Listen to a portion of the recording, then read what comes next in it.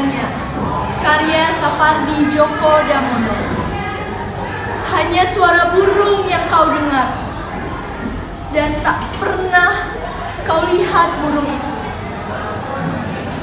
Tapi tahu burung itu ada di sana. Hanya desir angin yang kau rasa. Dan tak yakin bahwa kau lihat angin itu. Tapi percaya, angin itu ada di sekitarmu. Hanya doaku yang bergetar malam ini. Dan tak pernah kau lihat siapa aku. Tapi yakin bahwa aku ada di dalam